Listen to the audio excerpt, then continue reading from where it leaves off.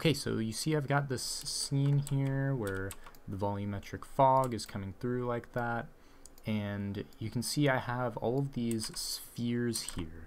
Now I do not actually want these spheres to be visible in my final game, right?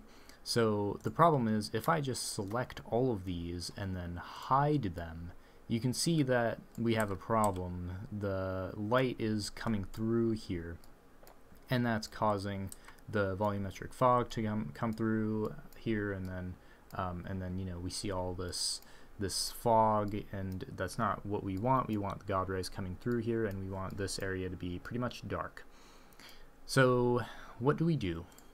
Well there is a setting within the static mesh called hidden shadow. This one right here and it says if true the primitive will cast shadows even if be hidden is true controls whether the primitive should cast shadows when hidden.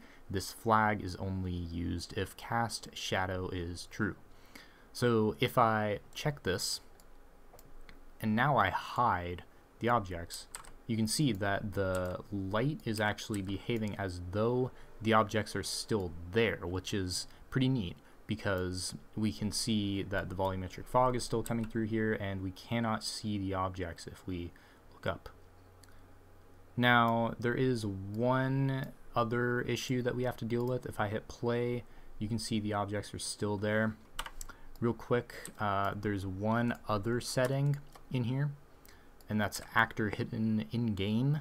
If I check that, you can see that uh, they're no longer there if I hit play.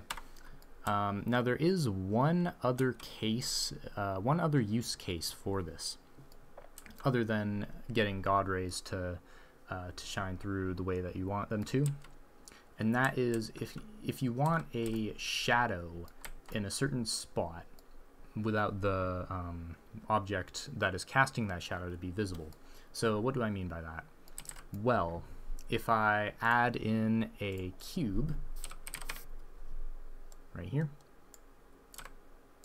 and then I scale it down like that,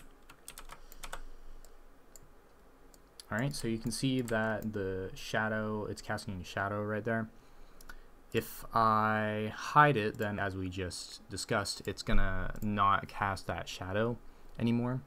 But if I if I check hidden shadow and then hide it, it's it's casting that shadow.